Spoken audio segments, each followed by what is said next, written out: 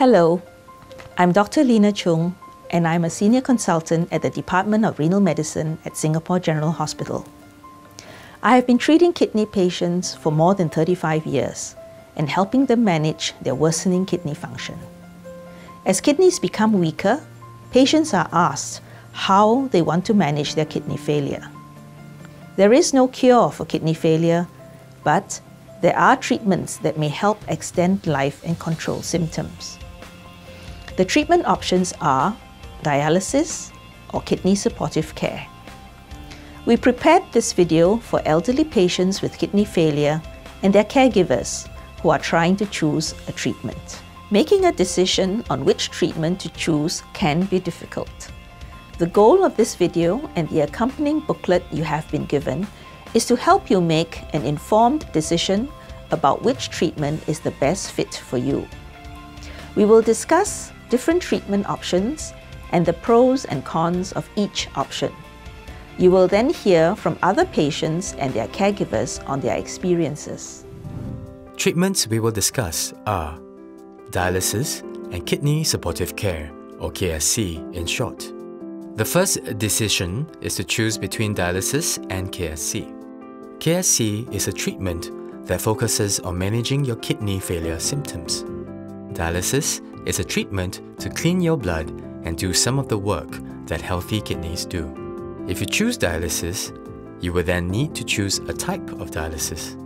There are two main types of dialysis, peritoneal dialysis and hemodialysis. Let us start with peritoneal dialysis or PD for short. It is also known as water dialysis. PD is a daily treatment done at home and at a time that is convenient for you. PD can be done by yourself or by your caregivers. Before starting PD, you will need a minor surgery to create an access point at your belly. A small, soft plastic tube called a catheter will be inserted into your belly through this access point. You will spend at least one night in the hospital for this surgery. A nurse will teach you or your caregiver how to do PD.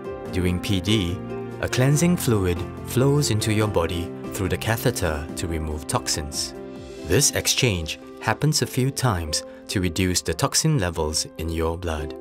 The exchanges can either be done manually or by a machine. You will need space to store the machine and water bags for PD. You will also need to keep the machine and house clean to avoid infection. There are two types of PD in Singapore. Let's start with continuous ambulatory peritoneal dialysis or CAPD in short. CAPD is done manually about 3 to 5 times a day, with each exchange taking 20 to 30 minutes. Most patients can continue with normal daily activities between exchanges. The second type is automated peritoneal dialysis or APD in short. APD is done by a machine for 8 to 10 hours a day. It is typically done during sleep. Most APD patients can usually continue with normal activities during the day.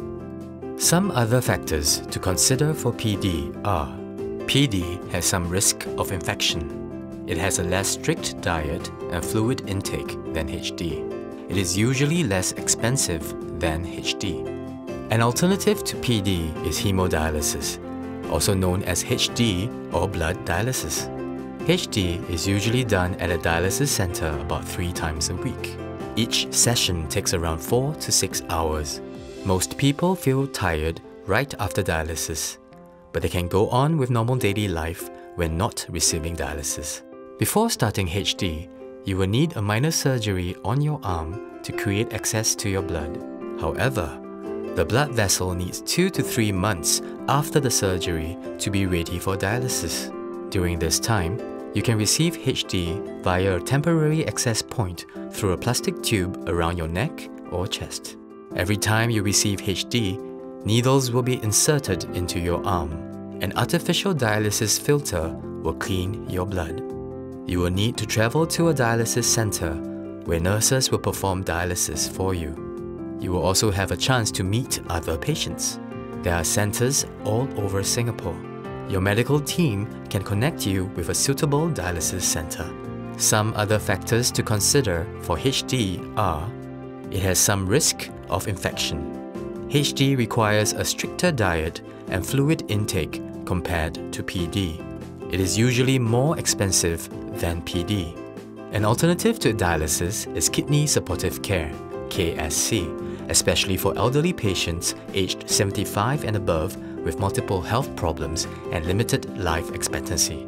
KSC is not meant to extend life. The focus of care will be to maintain your quality of life. Less time spent on treatment will allow you to spend time with your loved ones and do activities that you enjoy. If you choose KSC, your doctor will discuss a care plan with you. No other preparation will be needed. However, you will still need to travel to the hospital or clinic for your doctor's appointments. If you choose KSC, you must take your medicine as prescribed and follow the diet that your medical team recommends. A community nurse can visit you at your home if needed. Some other factors to consider for KSC are there will be no risk of infection related to treatment. It is the least expensive treatment. Now you will hear from patients with kidney failure and their caregivers who have already chosen a treatment. They will share their thoughts on how they chose their treatment and their experiences. My name is Wu Yibao. In the past, I used to run a business. Now I can be considered as semi retired as I still have work to do. My name is Ke Chu Hua. I'm 71 years old. I live with my daughter. I used to undergo hemodialysis three times a week. Now I undergo peritoneal dialysis for 10 hours throughout the night. My name is Li Shenchang. I started dialysis at the start of this year, thrice a week and 4 hours each time. My name is uh, PG Kemani. I am 86 years young. I go to dialysis for dialysis twice a week, and every time uh, it takes almost four hours. My name is Suji binti Abdulrahman. I'm 85 years old. My name is Hazira. I am 30 years old. I am the granddaughter of someone who was suffering from end-stage renal failure. She passed from her kidney failure. Caregivers' duties and burden. Initially, yes, I feel very burdened because I'm the only one at home who knows the steps of the dialysis. I'm, and I actually had a hard time training her. So it was very stressful for me because I really have to be there to watch her every steps. Initially, I would feel that um, I'm very, my social lives and everything are very affected because I need to start the dialysis, which is 10 hours to end she still have mood swings now and then. That is the thing that is uh, quite uh, a burden to us lah. But uh, somehow or other, we are more used to it already, so we'll just take it as it is. In general, it is fine because I just follow what is written on the appointment list and bring him for follow up visits. All trips to the doctor and dialysis center are settled by me. Yeah, I will arrange my mom medicine once a week, clean the house, and then help out with her anything if she needs my assistance and then I send her to the hospital and sometimes if she's sick the GP below our house. I didn't make the decisions per se, but I helped to translate the information from the doctors. I helped to explain it to my aunt, to my grandma, and I helped everyone to discuss and come to like a common agreement on which would be the best treatment for my grandmother. Positive aspects of treatment. I have no problem or pain when undergo dialysis. That's how I know that dialysis is not bad. I'm in really good spirits after dialysis. When I did not undergo dialysis, I was in very poor spirits. When she converted to PD, that's where her lifestyle kind of changed. There are more things that she can eat, and she has more time um, to go out and she has more energy. Before undergoing dialysis, he had swollen feet, felt uncomfortable, and was a little breathless. After dialysis, he no longer has these problems. Sometimes, however, his appetite is not so good. We never regretted it because uh, when she was offered the jab alternative, her condition improved much better. In terms of social interaction, she still saw her children, she still saw her grandchildren, and she saw her great grandchildren. In the final year of her life, though, um, I remember very clearly it was Hari Raya. She changed, you know, put on her jewelry, and then she went with us to all of the houses visiting her relatives. Negative aspects of treatment. It is good for those who are able to sleep because you don't feel anything. There is just a little sound. If you don't like the sound, you can turn on the radio or listen to music. In this way, you won't hear the sound of the flutes. Most of the time on dialysis is spent sleeping, but he can't concentrate or sleep well as he is afraid of accidentally moving the tubes of the dialysis machine. After the this uh, dialysis uh, treatment, I cannot do that, that kind of exercises which I used to do last time. My grandmother had a lot of medications and she was confused as to which is when. Coping with illness. I try to relax myself and not to think too much. The doctor says I'm the same as usual Sometimes you will feel that something is not right with your body, but you still have to overcome it. You must think, it is nothing, just a small issue. After that, you will be okay. Do not stay in the house all day, lying there and waiting for the day to pass. That is very unfortunate. If you can move around and exercise, you should try to move and go exercise. Before she started dialysis, she's already in depression and she was thinking a lot of time of ending her life. So I talked to the doctor, I said, look, I, I think I need help. So I get the doctor to refer her to a psychiatrist. Psychiatrist came in and talked to her and I think sort of opened her up. Nothing can be done if my time is up. In life, we will have to go. One day, we have to go too. I leave everything to God. Decision making. I can continue to live life normally. I can go to work, drive a car, and do anything as long as I want to. Then I thought, why don't I just choose to undergo dialysis? Although it is a little troublesome, I can still meet my friends. When I decided to undergo dialysis, I was not mentally prepared. So I did not have confidence. It was due to my wife's worries that I made the decision for dialysis. I myself made the decision not to go for dialysis. My children did not say anything because I'm already old.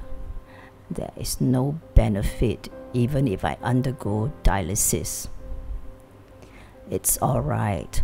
If the time to go comes, just go. Uh, initially, I thought uh, I want to go send her.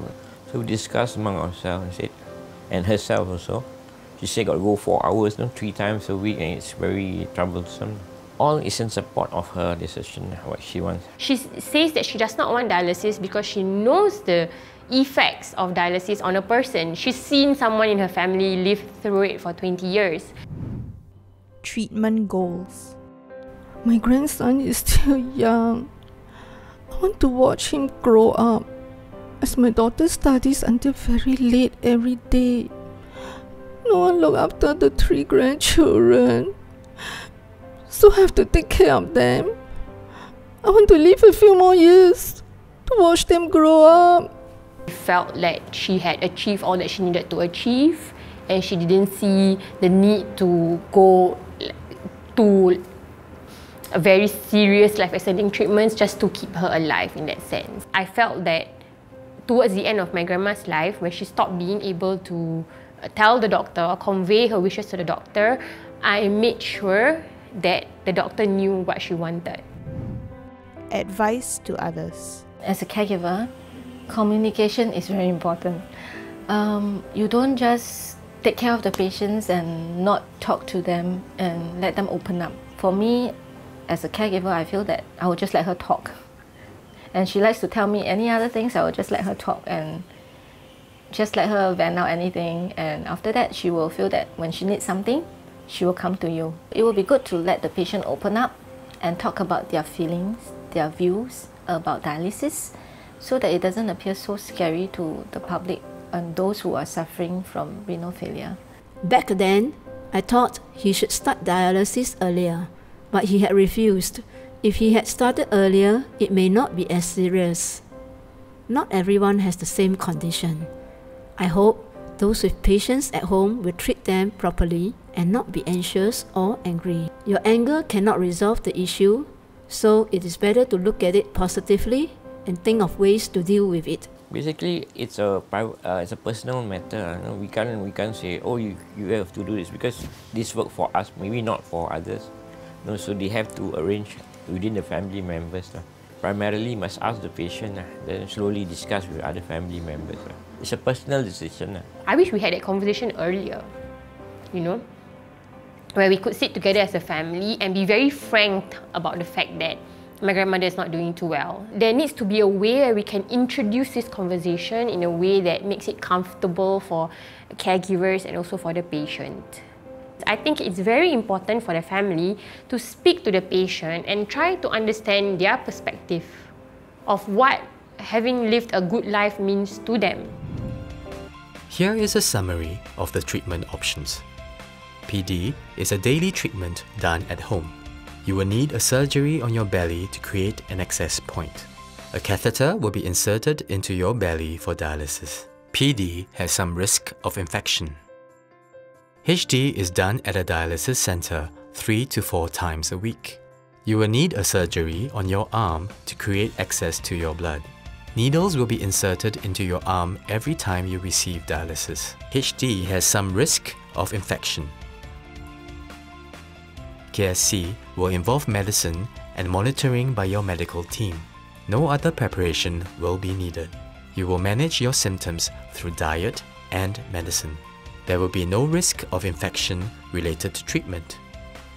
You have just heard from other patients and their caregivers.